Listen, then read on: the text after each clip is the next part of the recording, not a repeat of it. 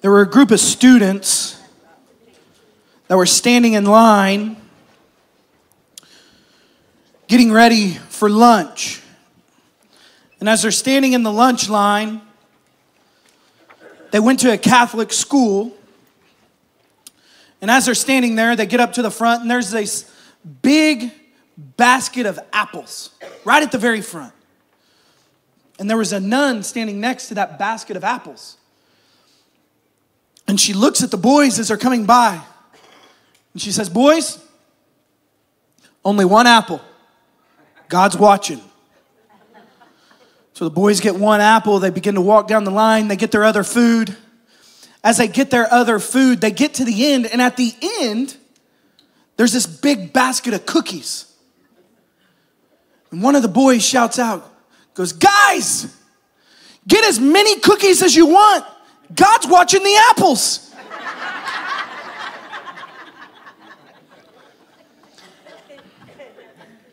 Listen, today we're in week number two of On Cloud Nine. And this is looking f- towards uh, our nine year anniversary uh, next week, which is just, it, it blows our mind. It's crazy what God's done in nine years.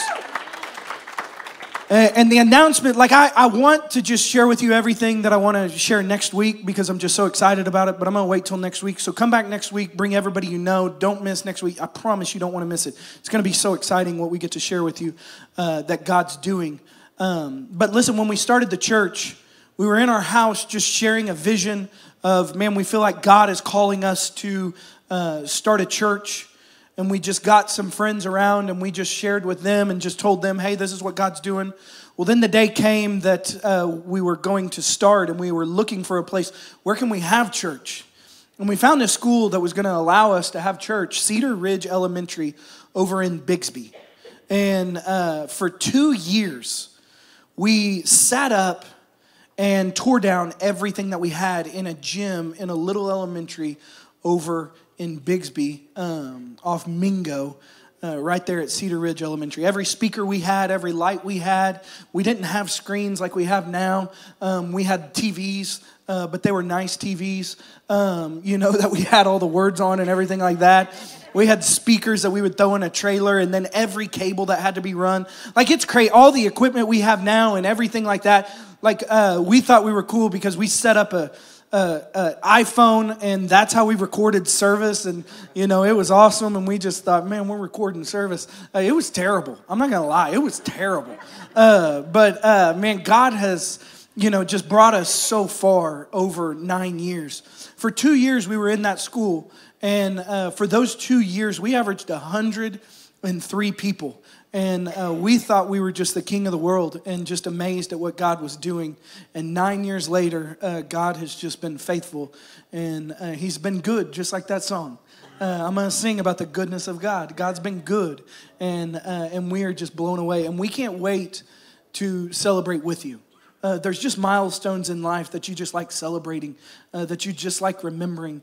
And uh, how we got started is one of those that we will never forget what God has done. Where we were, just a dream that God placed in our heart to where we are now and where we feel like God is taking us in the future is one of those things. Because listen, um, the future is a lot bigger and brighter than we can possibly imagine. I think what God wants to do um, is really exciting. But today I want to talk to you about the cloud of stress. Um, does anybody deal with stress in here? Come on, somebody. I can't be the only one that has stress in life. Uh, life, life is stressful, isn't it? Um, there's a lot of stress in, in life. Here's what you have to understand uh, there's always something going on, and then when you get past that and you get that stress off your shoulders, there's another problem. There's always stress waiting for you. See, you get past one, and then all of a sudden you got to pick something else up because it's right there. Um, you know, one, one thing that you have to understand is this you're either coming out of a problem, you're either in a problem, or you're fixing to go into a problem. And so I just want to encourage you a little bit this morning, uh, you know, and just bled like you either had a problem, you're having a problem, or you're going to have a problem. And so, uh, you know, just feel good about that uh, as you leave today. Uh, just feel encouraged. But here's what I want you to understand here's what stress is stress is when the pressures of life are bigger than what you feel like your capacity to handle them is. That's stress. And so when, when the pressures of life and everything that you feel is bigger than what you feel like, I don't think I can handle this anymore. I don't think I can carry this weight. I, I don't think I can do this anymore. It's just too big, it's too much. And so I've got good news and I've got bad news. There was a guy who went to the doctor, and the doctor looked at him and said, Sir, I have good news and I have bad news. And the guy says, Well, doc, give me the good news first. And he says, Absolutely. And he says, The good news is this you have 24 hours to live.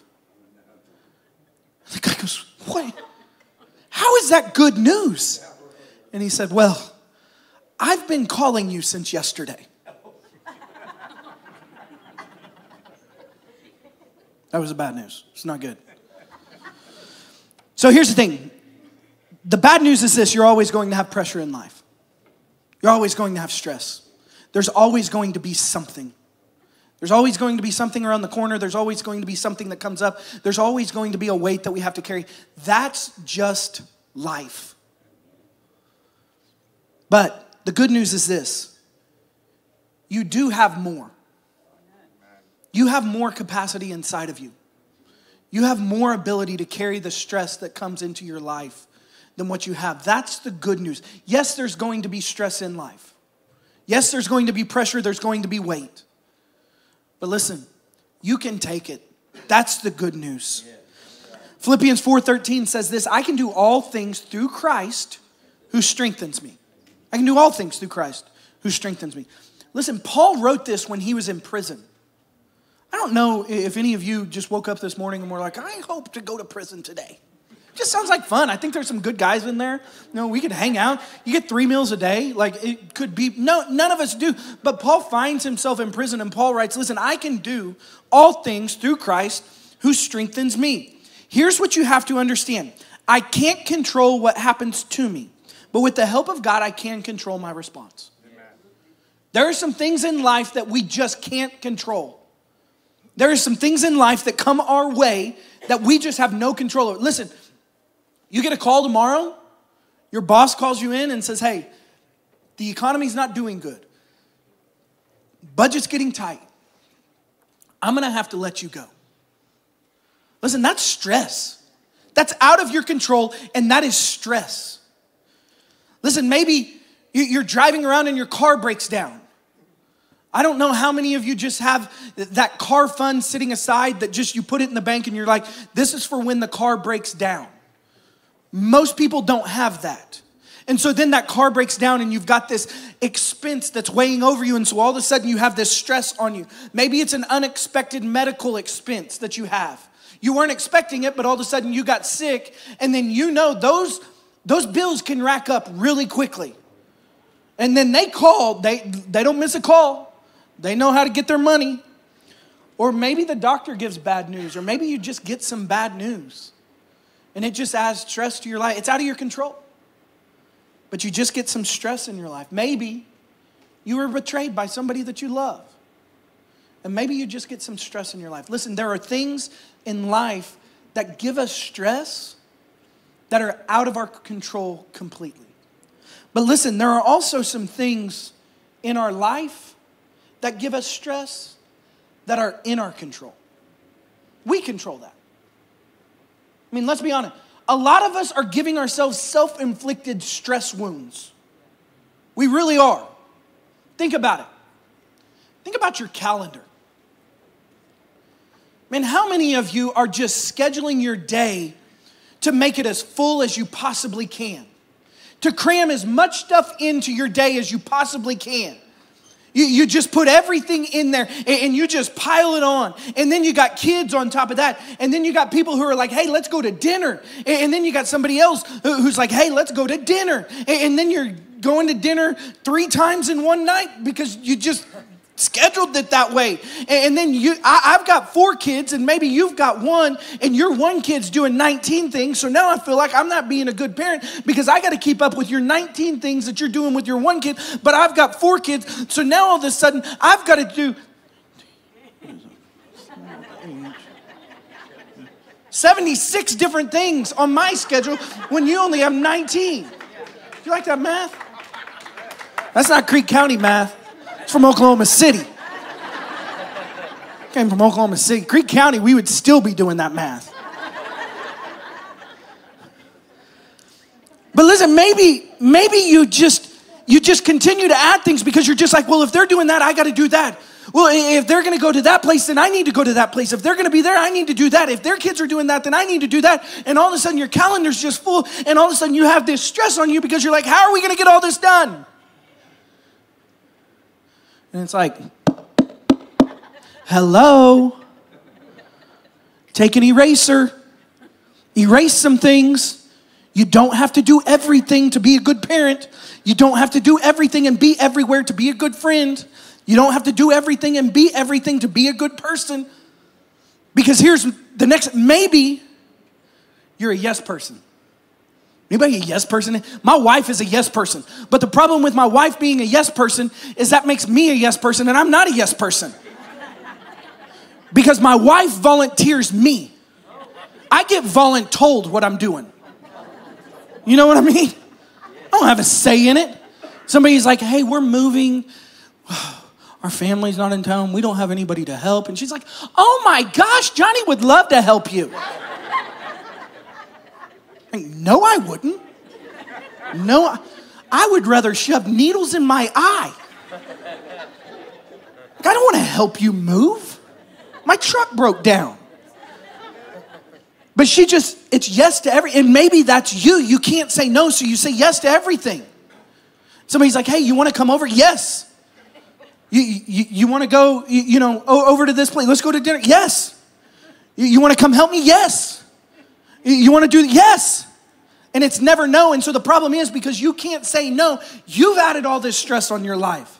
And because you can't say no, you've added stress to other people's lives in your family because now your yes affects them.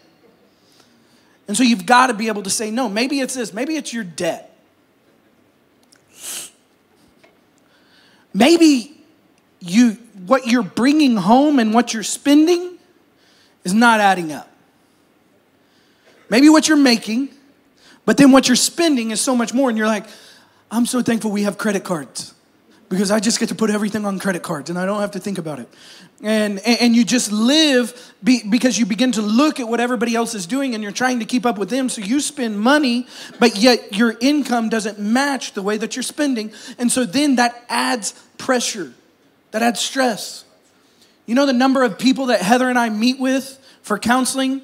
That when they sit down and we have this conversation, the conversation we have is because they're not managing money well we have a friend from Oklahoma City that they go on vacation every year. And I mean, it's, it's an envious vacation. Like, it's awesome. but they put it on a credit card every year because they can't afford it. And so now they're about four years behind paying off their vacation, but they're planning their next year. I mean, tens, twenty, thirty thousand dollars just on vacation and it's awesome. And I'm like, I want to go with you. And you can put it on your credit card because I can't afford it. But they can't afford it and they just do it and it adds this stress to them. Like, how are we going to pay this off? And I'm like, why are you going to a place you can't afford in the first place? Quit. Go camping. My wife will never do, my, my wife is not a camper at all. She would rather stay home than go to a tent. I don't understand people that like camping. It's just not in me. Uh, it's not in my wife. Like, I went once when I was a kid. It was about 140 degrees outside, and we were in a tent. And it was the worst experience of my life. I mean, the absolute. You sweat, you don't sleep, you sweat all night. There's a fan blowing on you, but it doesn't help. And people are like, I love camping. And I'm like, man, I don't at all. but listen, you got to find things that you afford, not try to impress everybody with what you do. Maybe it's this, maybe it's social media. Can, confession, social media is an issue for me. I, I don't know why, but I can get sucked into those videos faster than anybody. I'm not even a builder, but a video will come on how to redo your back porch, how to redo your back deck, and I'll sit there and watch it and be like, I need to re- redo my back deck. I don't have a back deck, but I learned how to do it. So if you need a back deck redone, I got the video we can watch and do it together. I'm not like I'm not a chef by any means, but I can't tell you the thousands of cooking videos that I've watched. And I send them all to Heather. I'm like, we're gonna make this. I don't know how you make tofu good, but we're gonna make this looks amazing. You know, I'm I've got a smoker. It's broke right now, but I don't even smoke. But I watch smoking videos all the time, and I'm like, oh, that looks so good. And I send them to Heather. All of Heather's feed is like food, food, food, food, food. Let's make this, let's make this, let's make this. And I watch it all day long. And the next thing I know, I'm like, I'm sitting there and I've been scrolling for 30 minutes watching these dumb videos and, and just get sucked in. And then you have the stress because you're like, now I'm behind, I gotta play catch up. Or maybe you're looking at social media and you're comparing everything that everybody else does and you're looking at all the likes that people get and you're like, I need more likes. I want people to love my videos. I want people to like me. I want people to love me. And then all of a sudden, because of that, it just creates this stress on you that you've created on yourself. So I'm not talking about that today. Because here's the thing it's really, really simple. That part's really simple. Stop it. Let's pray. No, I'm joking. We're not praying. Like some of y'all bowed your head, like, we're done? It's one point. Just stop. Quit doing what you're like. If you're putting stress on yourself, a lot of people here, here's the thing. Here's here's the people I meet. A lot of people that I meet just walk up and they're like, oh my gosh, I'm so stressed out. And then they begin to tell me, and I'm like, you've done that to yourself. Stop it. Like, quit complaining. Like you've made these decisions to put yourself in this situation. Stop it. Let's pray. Um, no, but here's the thing. I can't control everything, but I can control some things. Okay? I can't control everything. Not everything in my life can I con- control, but there are some things that I can. That's what I want to look at today. Okay? Let's look at those. So, thought number one is this I can't control everything, but I can run to God. I can't control everything but I can run to God. Judson, he's our first boy. He's our third child. We had Addie and Haley, and then we had Judd, and then we had Jax. Um, and Judd was our third boy. And so came time for Judd to be born, go to the hospital. Everything's going great. Everything's awesome. Um, and the delivery comes. The doctor takes Judd and lays it on, not it, I did this in the first. He's not an it. He's a person, and we care for him, and he's a great boy. Uh, he's not just a thing. Uh, and so laid him uh, on her chest, and you, you know she just held him and was looking at him, and we're just looking at him. But there's something different. Like I'm not a, an expert on delivery, but I've been through at this point too. And so it's kind of like, you know, I've stayed at a Holiday Inn Express. Like, I'm good. Uh, you, you know, you, you kind of figure some things out. Some things need to happen. One of those things is this when the baby comes out, you expect to hear something. He needs to cry. Like every time they come out, both girls came out. And I mean, they were mad as a hornet when they came out, and for some reason, it stuck with them all these years. Uh, and so, you know, it's just like like they're just mad. And so now Judd comes out laying on Heather's chest. We're looking at him. He's not making a sound. So the doctor's like, uh, you know, hey, Johnny, you want to cut the umbilical cord, umbilical cord, the cord that's connected. I can never get this right. Heather's like, that's not what it is. And so it's one of those things, starts with an A, I think. You. Man. Golly, that's that Creek County spelling right there. My fault. I've been here too long. It's starting to rub off on me. But, uh, dead gummit. Starts with an A. Why did I even say that? I didn't need to go to spelling. Spelling's not my strong suit by any means. Like you ever read my, my messages, my notes, or anything, like spelling is not it. It's got that swervy underlined on a ton of stuff. But I know what it means. And so, uh, so I just leave it and roll on.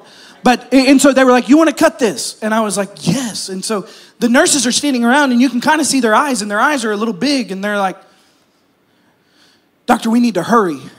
And so Heather and I are just kind of looking, and so she's like, hey, cut this real quick. And so I cut it real quick. And as soon as I do, the nurses grab Judd and they take him over. And I mean, they just start going crazy with him. They grab him by his feet and they're swinging him. Like it's crazy. They're slapping him, they're hitting his back as hard as they can. I'm like, good grief, man. Slapping him on the face and everything, and there's nothing. And so Heather and I, at this point, we knew something's not right. And so about that time, I'm standing by her head, and all of a sudden, that, that noise you don't want to hear, that sound you don't want to hear, they, they, they hit the alarm, and it's just code blue, code blue, code blue. And, um, and so we're standing there, I'm standing next to her head, and they, there's about a hundred nurses that rush into the room.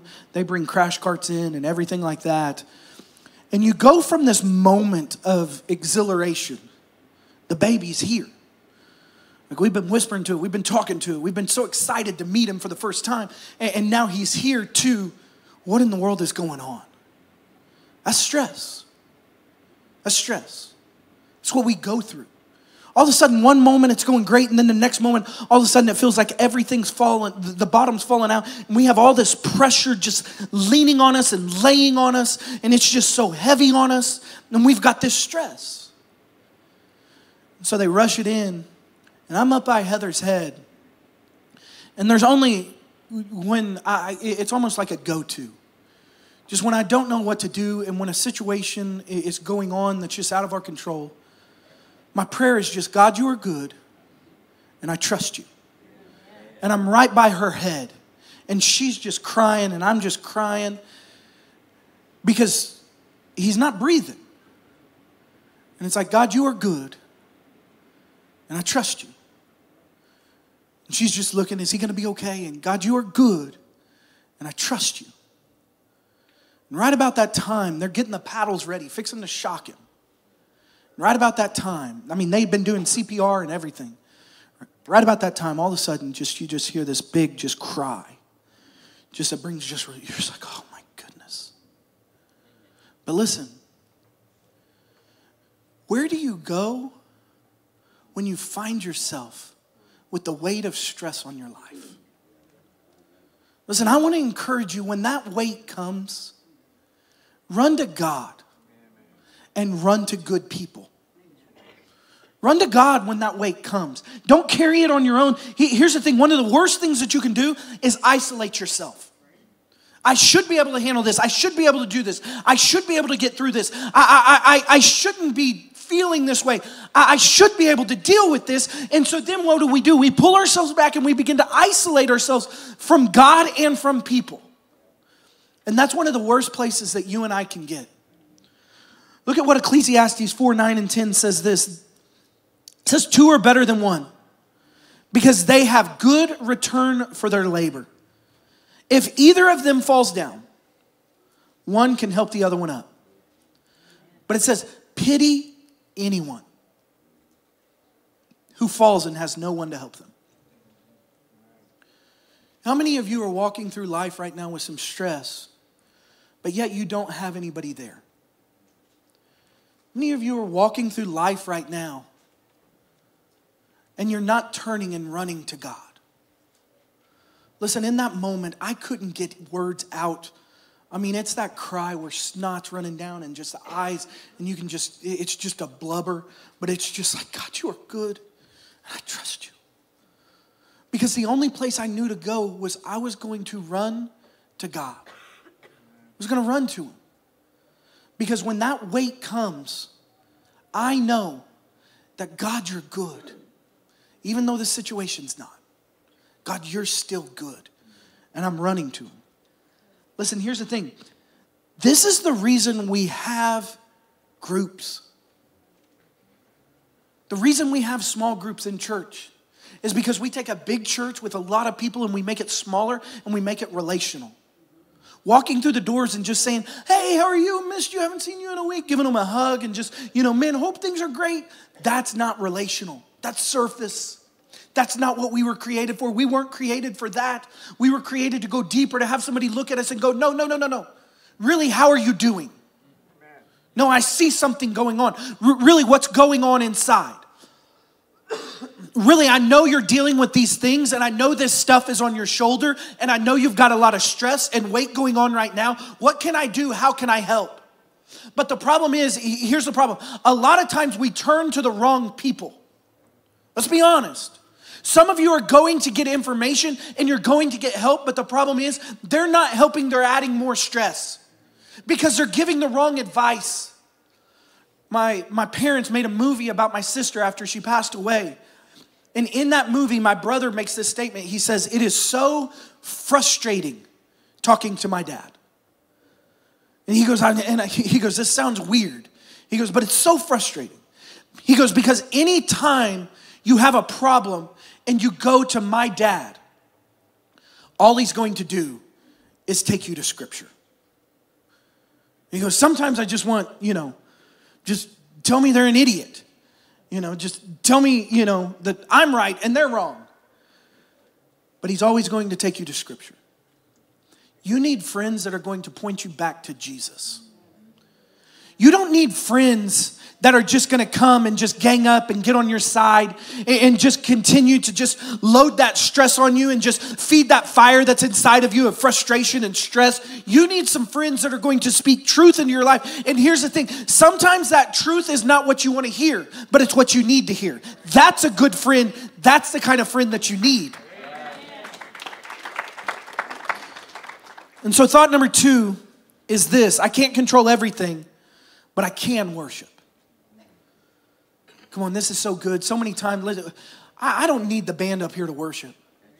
Can I tell you how many times I've just sat in my car and I'll be sitting at a light? Man, I'm singing a song and I'm just crying like just a baby and snot's coming down my nose. And I look over and the person next to me is like, I you got it. It's just good. It does my heart. I'm not weird. Because you're just like, man, I, I, needed this moment. There's some things going on and I, I needed this moment. I, need, I needed these words. I needed this song. I, I needed to worship. They don't know what I'm going through. They don't know the weight that I'm carrying. They don't know the stress that's on my life. They don't know what I'm walking through. And I just need this moment with God right now. And maybe that moment is in the car. Maybe that moment is just at home. My mom used to turn on the Gaithers and the cathedrals all the time through the house. She'd just turn it on and just blare it and we'd just walk through the house and we'd just worship. You don't know if you don't know who the Gaith. Well, no, no. If you know who the Gaithers are in the cathedrals, you're old. We're old. I know who they are. We're old. If you don't, you're young. But but listen, you turn it on and you just begin to worship. Man, I got a speaker in the bathroom. We turn worship music on, get in the shower, and I'll just be crying and worshiping, eh, you know, taking a shower. You can find those moments where I've got this stress and I just, God, I just need to worship. I need to get the focus off me and I need to get the focus on you. And I need to look to you in this moment. It says this Isaiah 53 3, he was despised and rejected, a man of sorrows, acquainted with grief. Can I tell you this? So many times I meet with people and they're going through hard times. They're going through death. They're going through struggles. They're going through pain. And I show up and they're crying. And most of the time they're like this I'm so sorry. I'm so sorry I'm crying. And I'm like, why?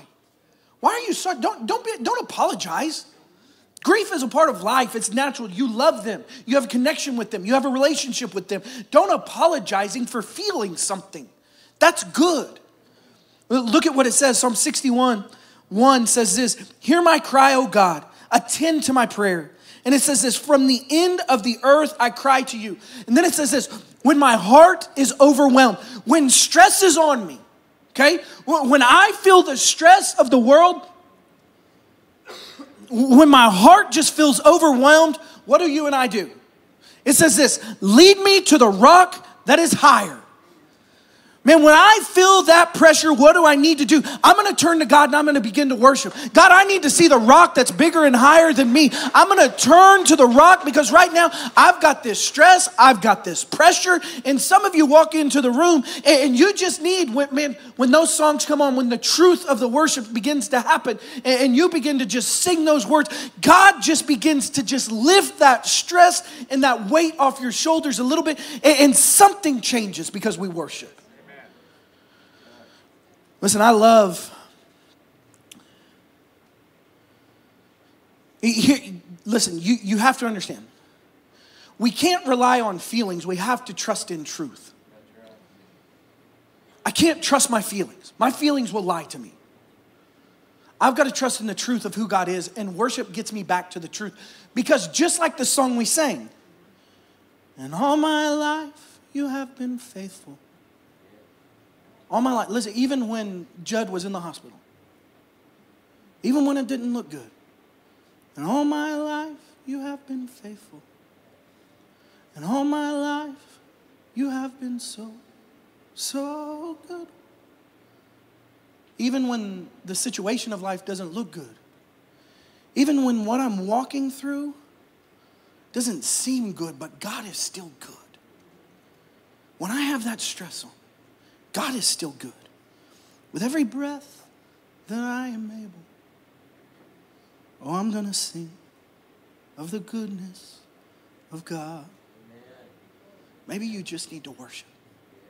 Maybe when that stress gets heavy, you just need to turn some songs on. You just need to get by yourself. You just need to go to the closet you need to crank that music up. You need to tick the neighbors off. You need to get the bass going and you just need to feel it in your chest and you just need to begin to proclaim the truth through worship. Thought number three I can't control it, but I can focus on eternity. Jeremiah 20, 18 says this. Why? Why was I born? Was it only to have trouble and sorrow? To end my life in disgrace?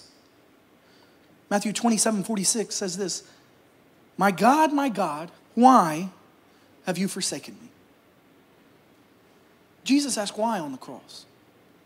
Do you know we're going to have a lot of why moments in life? Do you know that? Do you know we're going to have those moments of I don't understand?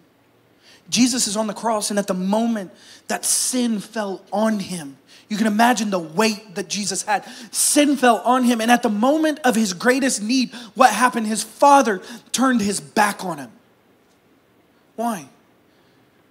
Because God rejects sin. And Jesus knew going to the cross that was the payment and the burden that he was going to have to carry. But he's saying, God, why? I need you. Why? Listen, we're going to have a lot of why moments in life. I had a guy after the first service come up to me and he said, Pastor, he said, I had a friend pass away when I was young. He said, I've been asking the question why for 37 years and I've never got it. He said, Today I did. Because here's what you have to understand about the question why. And it's, you have to know that God is at work even when you can't see it. God's at work. But here's the thing I may never know why, but when I do know why, I'm going to be okay with it. Because here's the thing this world is not our home, eternity is. And this side of heaven, we may not ever get the answers. This side of heaven, we may never be able to understand why did this happen? You know, we, we as a family struggled with this. My sister was 39 years old, had seven kids from the age of 4 to 14 when she passed away from cancer. She was a better parent than I'll ever be. She loved people. When she was going through chemo, she would bring cookies up and she would walk around to everybody else while she's getting chemo. And, and, with the IV in her arm and everything like that, she'd pull that thing around, pass out cookies, and share Jesus with people. Like she, I'm, she was incredible. At one point, I, I wasn't there, but my dad and my brother were. They were next to her bed and she was out because the pain was so bad. So they had given her just all, all this medicine in, in order to just really just keep the pain from just being too terrible for her and she was out. And all of a sudden, the doctor walks in and she wakes up like, like a miracle wake up. And she wakes up and she rolls over and she grabs that doctor's hand and she says, Oh, doctor,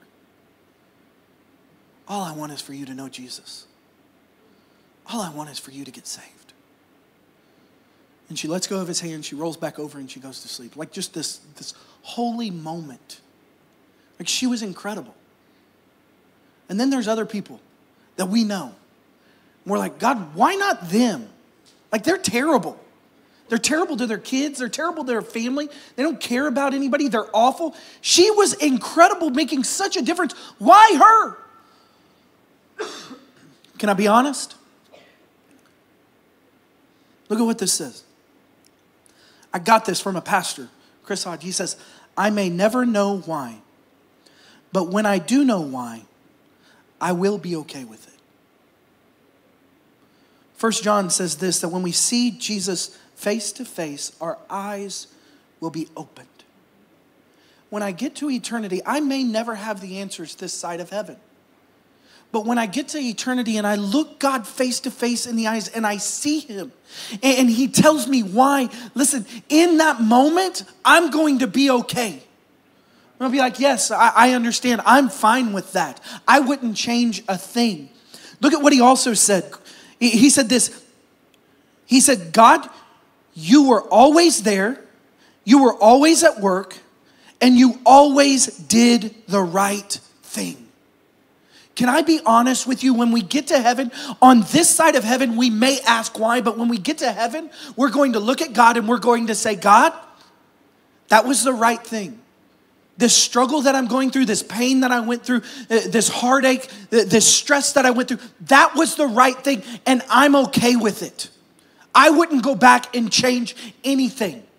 You made every right decision because when we see him face to face on that side of eternity, we're going to look and go, You are God and I am not. You are worthy uh, of it all. You are worthy of all the praise, and I am not. And the decisions that you have made and the things that have happened this side of heaven, God, you always did what was right. That's hard. But listen, we have to get to that place to where when we are walking through stress, our eyes are not on this situation, our eyes are on eternity. I'm not looking here, I'm looking up towards Jesus. Number four, I can't control everything, but here's what I can do I can trust God. Can't control everything. Proverbs 3, 5, and 6. Trust in the Lord with all your heart. Don't lean on your own understanding. In all your ways, submit to Him, and He will direct your paths. Faith falls apart when we think that if I follow God, nothing bad will ever happen to me. Life is going to have stress, life is going to have pain, life is going to have struggles. Did you know we've, we've all heard the serenity prayer? We've all, you probably have you know, a necklace, a shirt, or something that you bought at some point, sometime you've read it. But look at what it is. I never knew it was as long as it was. I always thought it was God grant me the serenity to what? Accept the things I can't change. What is that? Self induced stress. Or no, that's stress. That's stress. Accept the things that I can't change and the courage to change the things that I can. Self induced stress. That's what it is. I've got stress I can't do anything about. And then I've got stress I put on myself. And the wisdom to know the difference. That's it. It's as far as it goes. That's all we ever know. That's all we ever see. But it goes so much farther and it's so incredible. I never knew this was here. It says living one day at a time, enjoying one moment at a time, accepting hardships as part, uh, uh, uh as a pathway to peace. My stress is going to lead to peace. And then it says, taking, as Jesus did, this sinful world as it is, not as I would have it. I wouldn't have chosen this path. I wouldn't have chosen this pain. I wouldn't have chosen this hurt. I wouldn't have chosen this direction. But God, you did. And so now, because of that, trusting that you will make all things right if I surrender to you. I might not have chosen this, but God, I trust you.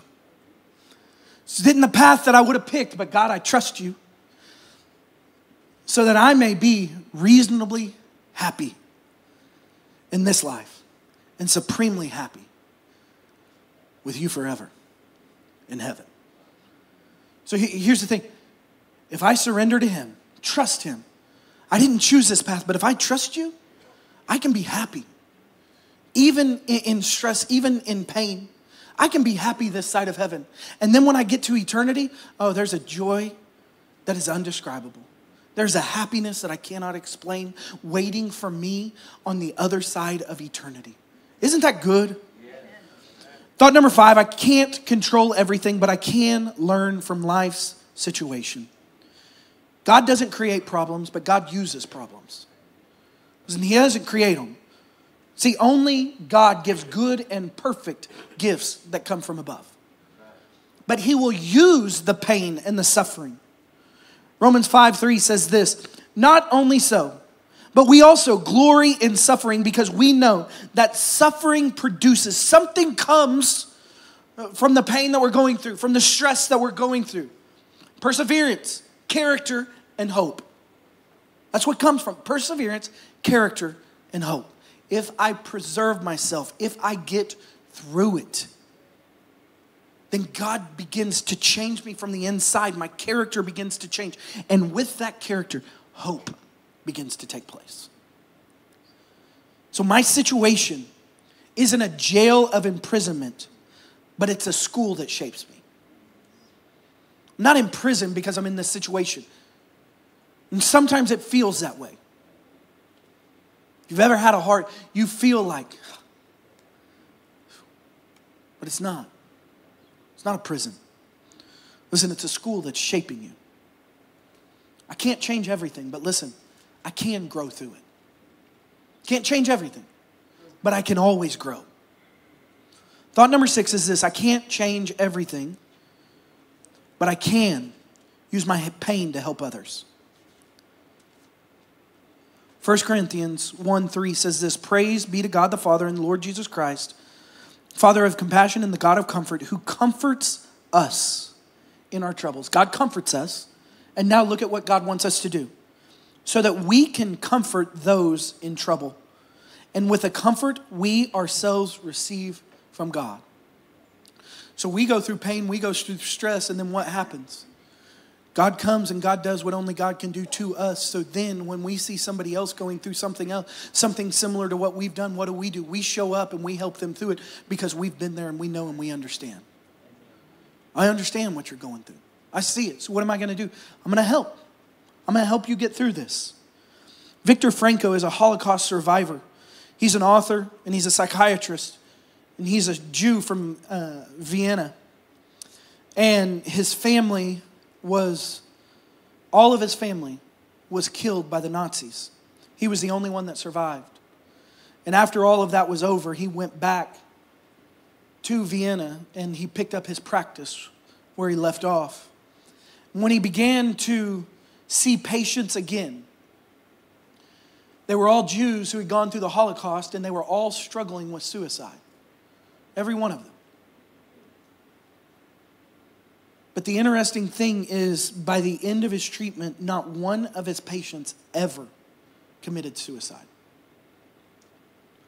See, Sigmund Freud has this idea that life is all about pleasure. Just find pleasure.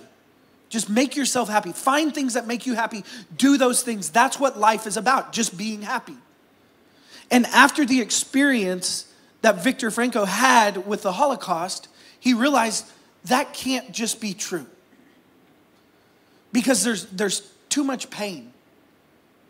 And the pleasure that I'm trying to find can't mask the pain that's inside of what I've experienced. And so there's not a vacation that's going to go that's going to take this pain away.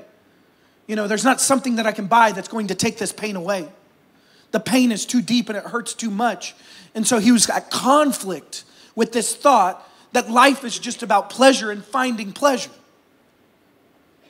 And that's when he really discovered. He said, Life, the greatest life is not about pleasure. The greatest life is about finding your true purpose. That's what life is truly about. And here's what he said He said, if you don't have purpose, you will dull your life with pleasure. If you don't have purpose, then what you're trying to do is you're trying to create experiences that give you pleasure in order to hide the fact that you really don't live with purpose. And so he created this therapy called the, the logotherapy. And he created three things in order for each of these, uh, each of his clients that he was seeing. The first one is this, and all these come from the Bible. He didn't create this, the Bible did. It says this everybody needs meaningful work. Not just a job to do, everybody needs meaningful work, purposeful work. Everybody needs a community of friends. And everybody has to learn to take their pain and help somebody else. Listen, what you've been through, somebody else needs your help. Your struggle, your pain, your stress, somebody else needs the encouragement that there is another side, that they can get through it, that they can see a, a, a, sun, a, a, sunny day again. Everything's not doom and gloom and cloudy, but there are brighter days ahead. And that's because of you and the testimony that you carry with, with the struggle and the pain that you've walked through. And so here's just for us to remember I can't control everything. But I can run to God and run to others. We need good friends and we need to turn to God. I can't control everything, but I can worship. I can get on my knees and I can begin to worship God. I can't control everything, but I can focus on eternity. I, I, this world is not my home. I was never created in, in order to be here. I, I was created for God and God alone, and eternity is my future. Heaven is my home. I can't control everything, but I can trust God. I can't control everything, but I can learn from life situation. I can't control everything, but I can use my pain to help others. Listen, we're all going to go through stress. We're all going to have the weight of the world on us. But it's how you handle it that matters. How do you walk through it? Listen, if you will use these six principles, here's what I can promise you the weight will get lighter. It will. It will never go away, but it can get lighter because your capacity has grown. Will you pray with me?